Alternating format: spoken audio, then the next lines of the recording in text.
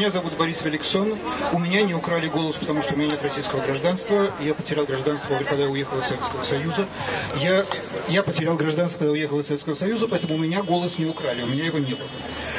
Сказать я хочу совершенно не призывы и не лозунги. Дело в том, что Фальсификация, естественно, имела место, но, к сожалению, все, кто хотят про нее говорить, говорят про отдельные случаи и говорят про рапорты отдельных наблюдателей. Это очень убедительно, но это не дает общей картины. В то же время общая картина есть. И, к сожалению, я не вижу о ней упоминания.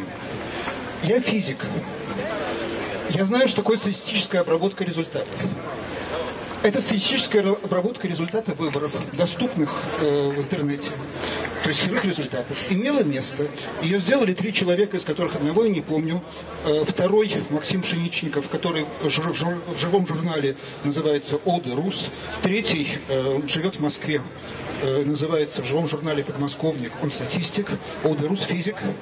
Вы можете пойти к ним на в блог, посмотреть на графики, которые имеют место.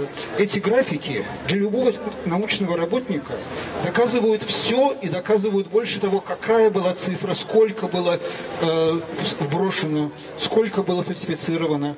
Все чрезвычайно просто. Дело в том, что есть две величины, которые не должны коррелировать друг с другом. Явка и процент голосов за, за разные партии они не коррелируют друг с другом. Кривые Гауссовы для всех партий, кроме Единой России. У Единой России мы имеем слева, там, где голосов мало, мы имеем нормальную кривую, а справа мы имеем нечто совершенно невообразимое, которое убедительно для абсолютно любого научного журнала, может быть опубликовано. Это доказательство. Более того, на этой правой части мы имеем совершенно фантастические вещи. Они крайне неуклюжи все. Там имеется колоссальный пик на 50%, там имеются пики на каждых 5%. То есть подделка была такая, что не круглые цифры, их не интересовали, они делали круглые. Это доказательство. А рапорты 10, 100 и тысячи даже наблюдателей, к сожалению, не доказательство, а только довод в пользу. Они только подкрепляют.